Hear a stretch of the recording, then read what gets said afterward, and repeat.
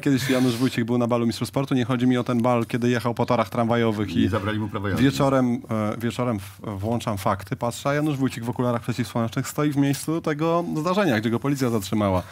I reporter do niego mówi... I normalnie reporter się go pyta, panie Janusza, to pan jechał po torach, w ogóle tu akcja policyjna. A wuja mówi... Znakomita akcja Straży Miejskiej. Muszę powiedzieć, że zorganizowana perfekcyjnie, niż w amerykańskich filmach. I... Ale po innym balu, rok czy dwa lata wcześniej, ktoś zamówił taksówkę pod, pod hotel, w którym to się odbywało. No i e, Janusz Wójcik wsiadł do tej taksówki, ale to nie była jego taksówka, tylko dla, jakiegoś innego gościa.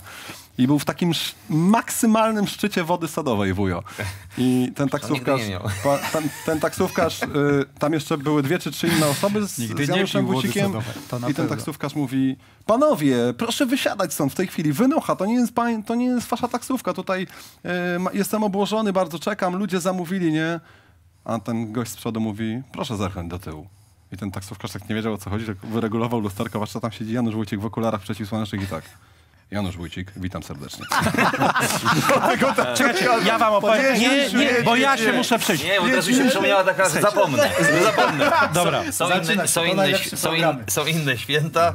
Jajeczko, no i siedzimy tradycyjnie świętej pamięci. Paweł Zarzeczny, parę osób, Janusz. Wójcik, tak. Tak, się siedzimy u też świętej pamięci, siedzimy u hrabiego, u słynnego hrabiego.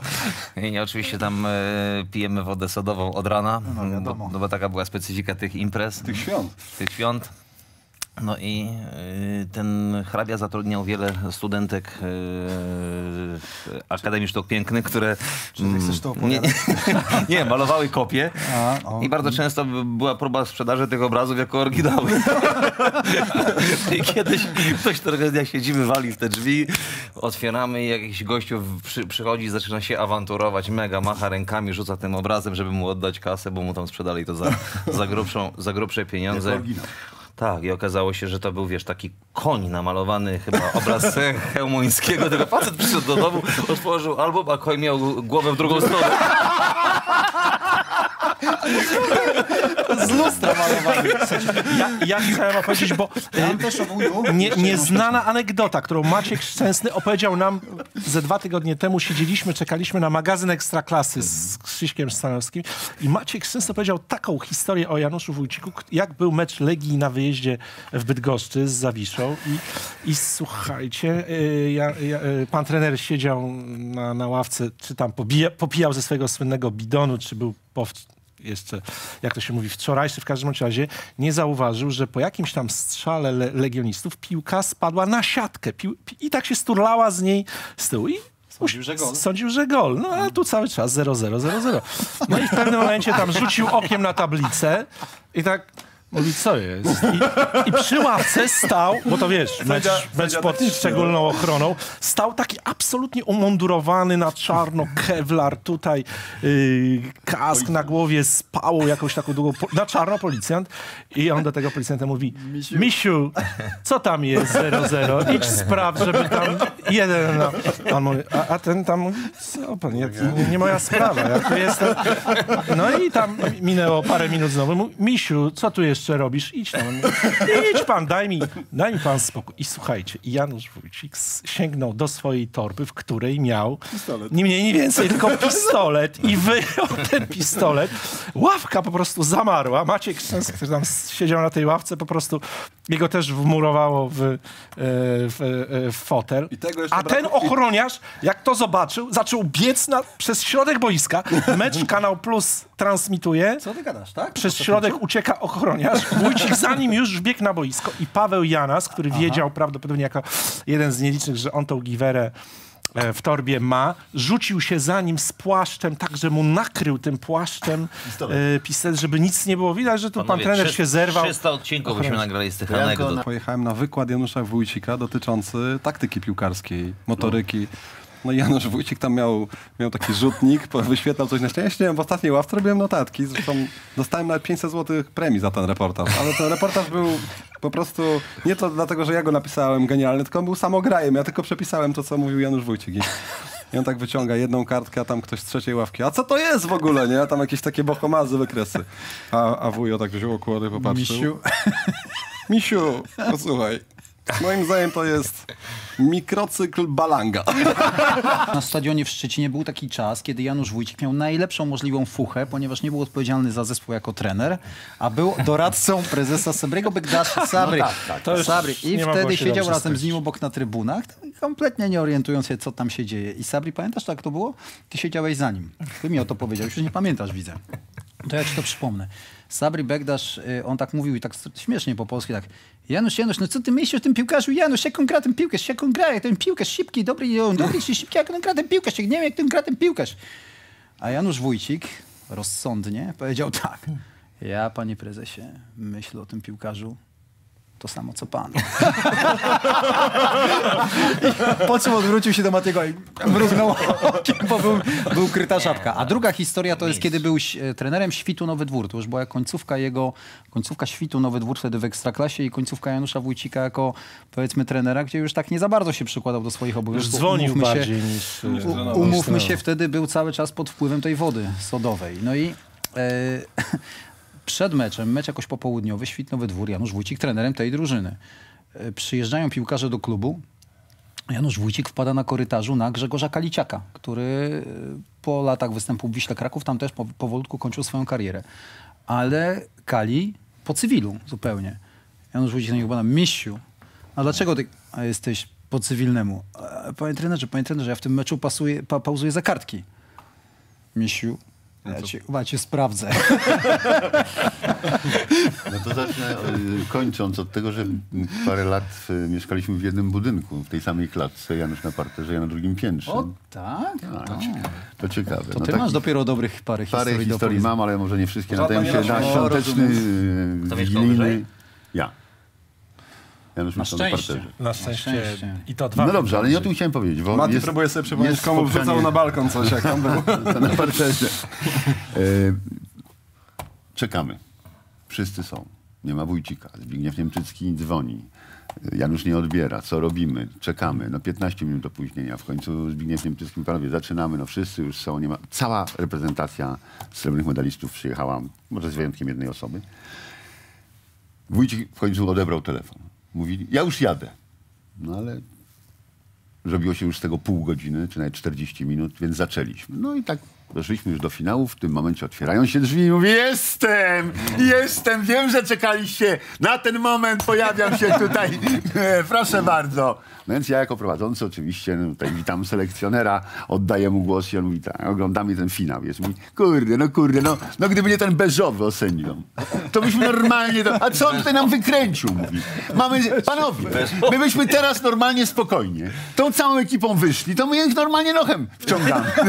Kiedyś najdroższy piłkarz, pamiętajcie, w historii Bastii, Mariusz Piekarski został kupiony na kasetę VHS, bo ja akurat byłem w Bastii i Henryk Kasperczak szukał rozgrywającego po odejściu Lubomora Wcika e, i, i Ale menadżer... proszę cię opowiedz całą tę historię, bo ona Nie, jest nie, genialna. mogę, nie, nie mogę. To jest nie mogę. To jest, wiesz, nie, znaczy, chodzi? mo- mogę powiedzieć O tylko... basenie Mogę opowiedz. nie, nie, o basenie nie mogę. genialne. Mogę powiedzieć tylko początek, że no generalnie jesteśmy w tej Bastii, no i przychodzi Henryk Kasperczak, na jakąś kolację jemy i mówi, "Em, ja szukam teraz numeru 10, e, taki, żeby był rozgrywający, żeby miał ten pas. Ja mówię, a kto tam, kogo tam trener ma na tej liście? On mi pokazuje, tam ze trzech Chorwatów, dwóch Francuzów. Ja mówię, jest taki gościu, no mówię, biały Pele, mówię. Tutaj, no, mówi, ja mówi, tak? poważnie? Nie, Zico. Mówi, poważnie? Ja mówię, mogę poprosić o taśmę, mówię, bo tutaj jego menadżerem jest taki Tadeusz Sondaj, który działał kiedyś ze świętej pamięci prezesem Kozubalem w Górniku Zabrze, mieszka w Szwajcarii, mówi, on się teraz zajmuje jego sprawami. No i przysłał, przysłał Tadziu Sondaj za dwa czy trzy dni e, taką e, kasetę VHS-a i my rzeczywiście A to z brazylijskimi, z brazylijskimi fragmentami. fragmentami. No, i słuchajcie, za- włączamy tę kasetę z trenerem Kasperczakiem, No, Lepsze niż ale Brazylijczycy. to jest, to jest, Tak, to jest tak ale nie, nie, ale to jest incredibile. To jest w ogóle, wiesz, Roberto Carlos jeszcze z Ligi Brazylijskiej dostaje kanał, Jalminia, który potem się bawił w Deportivo La Coruña, w ogóle jest nawijany w meczu Palmeiras Atletico Paranense w jedną, w drugą stronę z dziurami. Patrzysz na chłopa, wszystko gra sam na sam. Taki dobry, dobra, bierzemy. No i kupiła Bastia tego Mariusza. I wtedy wchodzicie na basen. Nie, nie, nie, nie, nie, nie, nie. Ale No, na taśmach ja- ja- taśmach nie było rozumiem, Tamtej tak? historii nie mogę powiedzieć. Powiem, Mówcie tylko, powiem tylko, że Mariusz przyleciał mm, i generalnie ten sezon w Brazylii y, skończył się troszeczkę wcześniej, chyba tam w marcu czy, czy w kwietniu, a, a potrzebowała na szybko piłkarza. No i przyjechał, wyglądał troszeczkę inaczej niż na tej taśmie. taśmie. Trener tam go zmusił do, do biegania przez trzy tygodnie, żeby był gotowy, ale, ale uwierzcie mi szczerze, bo z Tomkiem ten mecz oglądaliśmy, chyba nawet transmitowaliśmy go wtedy w Kanale Plus w 98 roku na Parc des To Princes. jest ta, to opowiadaliśmy o tym w zeszłym tygodniu, to jest ta nasza wyprawa. No to jest nie, to jest, to jest mecz, który komentowałeś. To jest Aha. mecz y, PSG Bastia 2-0 dla PSG. A, masz rację, a my byliśmy, no, I, no, no. i, I Mariusz dostaje tytuł piłkarza meczu obok Okoczy, bo, bo po prostu na tej brazylijskiej fantazji przyjechał i, i na tym Parc des Princes się bawił w obecności 42 tysięcy, mimo że Bastia ten mecz przegrała.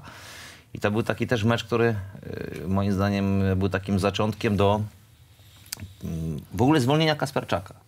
Bo ten Kasperczak wtedy tak po- postawił na taką przyjaźń z Francuzami, niekoniecznie z, z naszymi chłopakami. Mam Świerczewski I, i, i, i pamiętam, że on zmienił w tym meczu y, Piotrka chyba w 70 minucie i Piotr tak się mega zdenerwował po tym spotkaniu. Powiedział, mnie się nie zmienia. mnie tu nikt żaden trener nie zmienia. Przychodzi Polak i mnie to zmienił. No i, tak, i chyba tam trener Kasperczak popracował 8 czy 9 kolejek i, i, i, i ta Bastia rzeczywiście go zwolniła. Bo, Najgorzej zawsze na emigracji spotkać Polaka. no nie, no bo pamiętasz, on wtedy to obejmował działa. tę reprezentację wcześniej prowadząc Tunezję na mundialu. Tak, w- obejmował Bastię. Tak, obejmował Bastię w To 98 było- roku po Mistrzostwach Henryk Świata. Kasperczak miał bardzo poważne nazwisko we Francji. Po Tak, drugim meczu.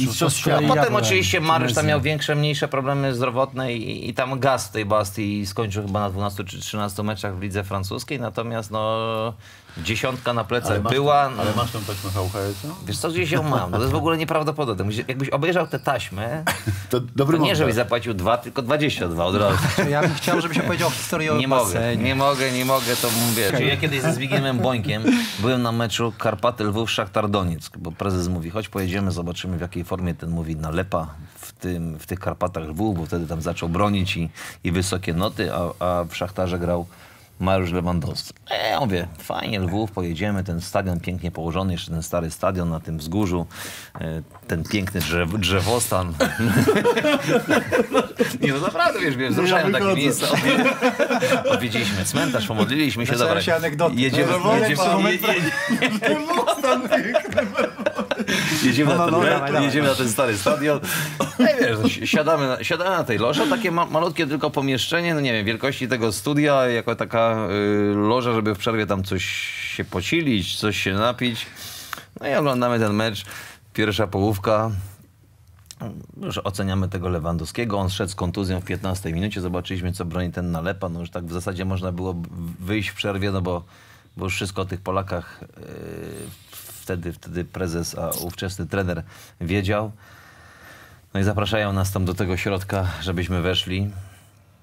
Na tych, nie wiem, dziś 15 metrach kwadratowych 100 osób. I cały czas tylko takie diewaczki z tacami i stakanciki na tych, wiesz, tacach. Słu- Słuchaj, no to nie wiem, no w ciągu 15 minut to minimum to jest 15 stakancików na głowę.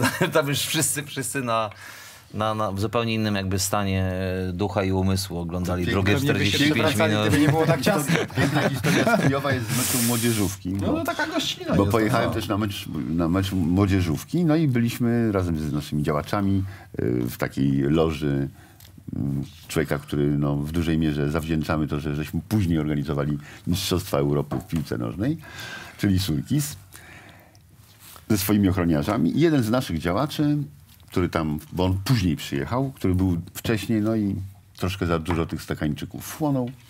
Nie był to świętej pamięci Janusz Wójcik, ale użył tego, stałego, stałego, tego samego sformułowania. Ten mu gdzieś przechodzi, no bo wiadomo, jego loża chce sobie usiąść. On mówi, misiu, a gdzie mi się tutaj dam, prawda, i tak dalej, i tak dalej. Do Surkisa? Tak, do Surkisa. Więc ci ochroniarze, wiesz, dwóch, dwa dwu, dwumetrowe chłopy od razu, a Surkis Zrozumiem. Na szczęście, na szczęście, następnego dnia, kiedy było już spotkanie pierwszej reprezentacji, a temu uświadomiono, co zrobił i z kim, że tak powiem, że nie, zadarł. To tak nie było, ja znam tą historię. Tam było zagrożenie betonowych butów. Naprawdę? I dotyczyło...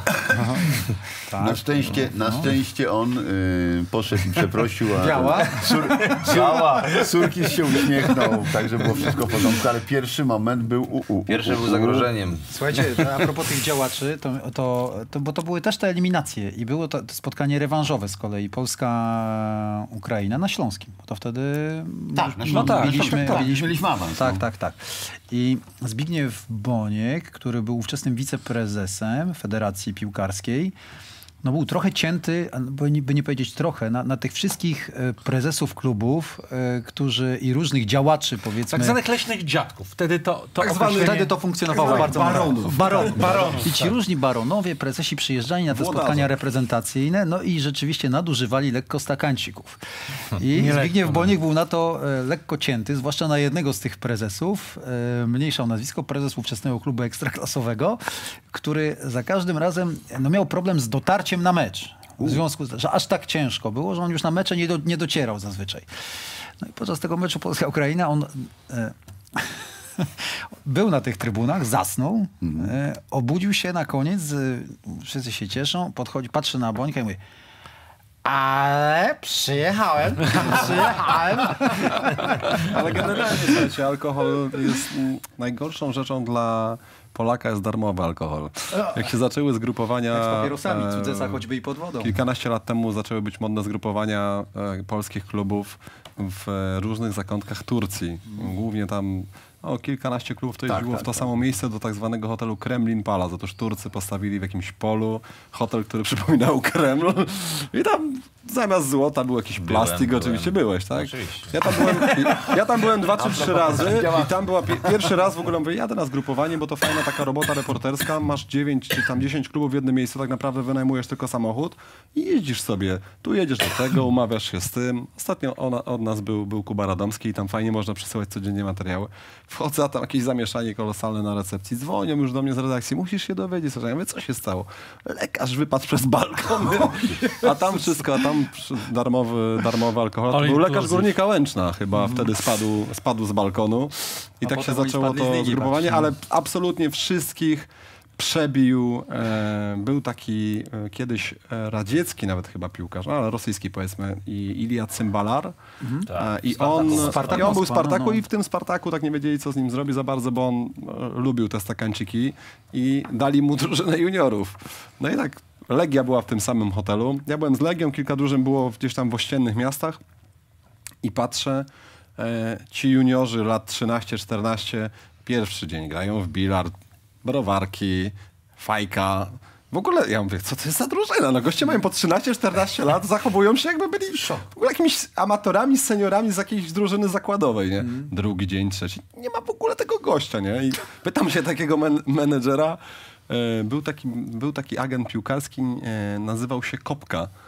Ja organizował zgrupowanie. I on organizował Tak, tam. I ja mówię do niego, ty słuchaj, to, to, to, bo, ty, bo ty dobrze znasz ten rynek. Powiedz mi, To się opiekuje oni tą drużyną. są, e, sami tu przylecieli ci chłopcy, mają, on mówi, nie, trenerem jest e, ten Ilia Cymbalar. No mówię, no właśnie widziałem go tutaj raz. O, taki, jak Michała Sweter miał twarz, taki czerwony. W tym kolorze. On mówi, nie, on tam mówi, będzie trenował. Zamknął się tam na górze, tam przyszły do niego dwie koleżanki. No, tam nie wychodzi od 10 dni, no, donoszą mu tylko. I tak zgrupowanie juniorów Spartaka Moskwa wyglądała, a tam ci i bro. Przypomniała mi się tam motywacja Darka Śledzieckiego na Stade de France. no E, tak. Z, z, z Francją. Co, co wiesz, Jerzy Engel wyszedł gdzieś do ubikacji na 15 minut, tam kogoś spotkał w korytarzu i pozostał poza szatnią. No i chłopaki później opowiadają, że Darek Śledziecki rozpisał z Francji i my panowie. Francja. Mówi, co ja wam powiem. Mistrzowie świata, mistrzowie Europy. Bartes, doświadczenie, fenomenalna gra. Prowadzenie Zmiażdżył piłki, ich. mówi prawa obrona, Tiuram, no co wam będę mówić. To, to jest, moi panowie, to jest maszyna, to jest, to jest gościu, technika. Mówi środek obrony, tam wtedy Blon, Blon, Blon, Blon, no, Blon liście Blon, rozegranie, Desai, skała, mój kałuża nawet do niego nie skacz, bo nie ma, bo nie ma sensu. Lewa obrona Liza Razu, no przecież to jest mój TGW. Jak on się rozpędzi, to jedzie linia, linia, mówi z, z dorzutką. Mówi Zidane, Panowie, no co mam, no, panowie, no, no, no, nie, ma, nie, ma, nie ma co podchodzić na dwa metry, bo to jest ośmieszenie z kanałem, przejście ze dnia. I tak mówi, no z przodu, Auri, mówi, Auri to nawet w ogóle nie, nie próbujcie wychodzić, łapać na spalonego, bo nie ma szans. No i tak siedzą, wiesz, przybici, ja mówię, no za chwilę trzeba wyjść, 80 tysięcy, Stade de France, Byłem, bo komentowałem. To. Jurek do szatni, popatrzył na tablicę i mówi, panowie, Francja, to jest przeszłość. mówi, Ciuram, już w ogóle bez zwrotności, bez zdrowia, mówi, bl- blond, tylko wystarczy nacisnąć. I mówi, Desai, no niby jest silny, ale mówi, spokojnie, spierasz się Kałuża na nim, stawisz skacze, rękę. Mówi, no Zidane, no Zidane jest dobry, to trzeba na niego uważać. Generalnie wszystko, dwie odprawy w 15 minut od tych samych piłkarzy. Ale słuchajcie, nie wiem, czy... Ale to, był najlepszy mecz z tych wszystkich sparingowych spotkań. tak, świetny I to był już taki sygnał, że ta reprezentacja nam Że może coś tam się dać. dzieje. tak? Jeszcze, Ale a ale propos- jeszcze rejs grał. Ale, teraz Ale nie, a propos, słuchajcie, a propos odpraw. Nie, bo ja nie dzisiaj było Jasnowic. No to poprosimy cię o odprawę Jurka Brzęczka y, na tym, na. Zaraz, zaraz. Tylko nie, muszę, muszę opowiedzieć wam jedną anegdotę dotyczącą odpraw.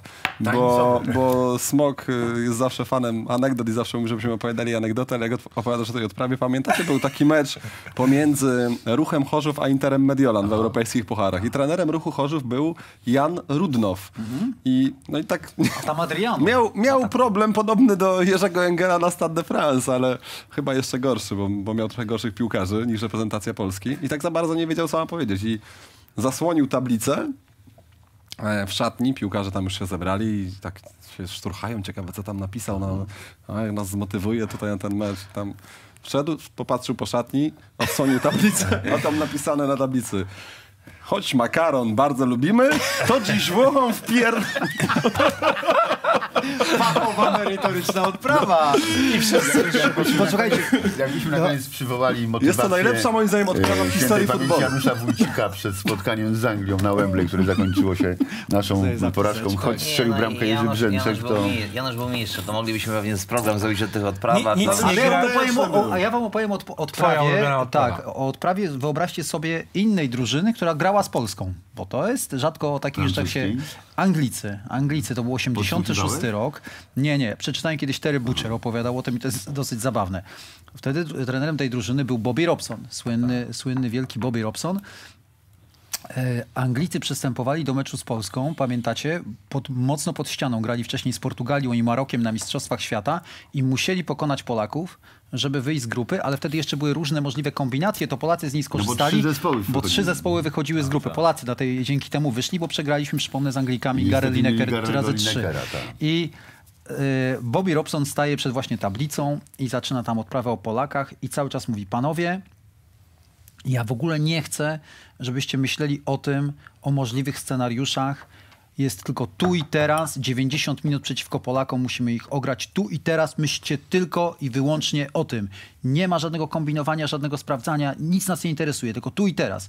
I przewraca kartkę, ale mu się kartki pomyliły. I w tym momencie zamiast pokazać drugą kartkę ze składem Polaków, odwrócił na trzecią kartkę, gdzie były, mówili piłkarze, Warianty. Wszystkie możliwe warianty spotkań wypisane, lepiej niż u Bookmachera. Bo Jak spojrzeliśmy na to, wszyscy parsknęli śmiechem, bo jednak się okazało, że wszystko kombinują. U Janusza zawsze było wesoło, bo to wiesz, jak grali z, z Anglią, to tak poszedł po zawodnikach, po szatni, poszukał kto ma diastemę, znalazł Tomka Iwana. I Mówi, jak spotkasz tego byka, tam cyknij tutaj. No nie, on, nie, on, za, on zawsze, wiesz, on zawsze na, e, łajał się z kimś, ktoś dzwonił, nie? Że telefon akurat w czasie odprawy dzwonił, zawsze było. Tak, panie premierze. tak, panie generał. Panowie, Panowie premier. premier. Tak, jasne. No, także zawsze, zawsze była jakaś Ale jeszcze mi motywacja. się przypomniało z tego jego wykładu, o którym opowiadałem w programie świątecznym, jak Fra Franciszek Smuda wtedy siedział w pierwszej ławce na wykładzie Janusza Wójcika i mówi nie no Janusz, a to nie można na czuja zrobić, na czuja to bym zrobił, nie? Że tam jakiś mikrocyk. A wujo tak, Franiu, mój drogi, kochany Franiu, na czuja to se możesz powąchać jak kobieta pachnie. I Smuda tak